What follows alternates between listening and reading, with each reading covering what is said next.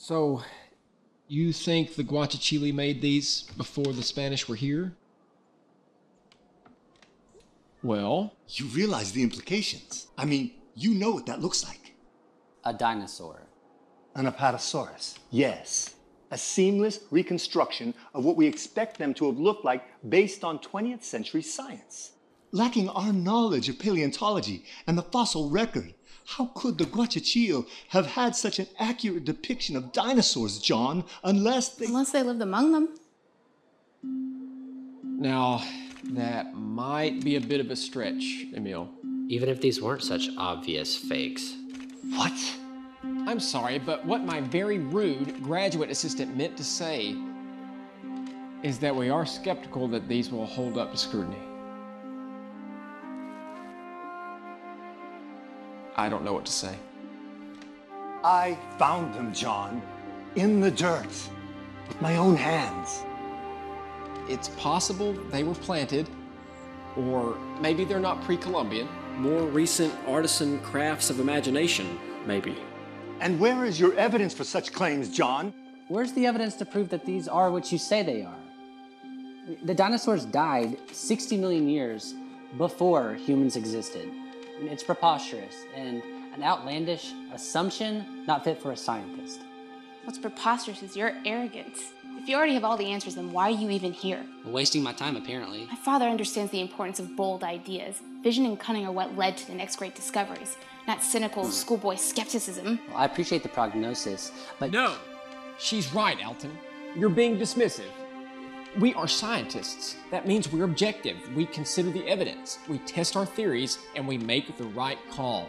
Not based on assumptions, not based on our systems of belief, but based on the facts. John, the burden of proof is on them, not us.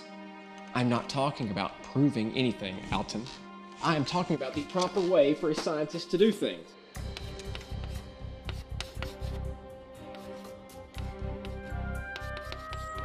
John, I'm obviously quite familiar with the scientific method. I don't think you are, Alton. So let's review. We ask scientific questions in a very specific way the scientific method. Purpose, research, hypothesis, experimentation, and analysis. Those are the steps that you're going to get from us, Emil, not arrogant bravado. If that's okay with you, Alton. Fine. Okay, so, purpose. So, we want to know the date that these artifacts were actually created, right? For an archaeologist, date is as important a key as location for determining context and redefining what we know about history. Next is research. What background information can we provide for our question?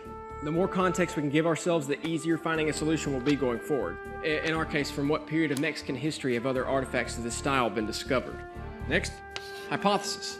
So, what do we think the answer is? Now, obviously, we may differ in opinion on this, but let's just say, for the sake of argument, that these artifacts really are over 500 years old. Next, experimentation. Time to test that hypothesis with a specific set of scientific procedures. In archaeology, to experiment is to excavate, so Emil, since you've already done that, we will need all of your notes and any pertinent details you may have from each site. And lastly, analysis. Record what happened, cull together as much information as you can from that experiment. If you're a chemist, you write down what happened when you mixed up the potions, but us, we're pursuing relationships.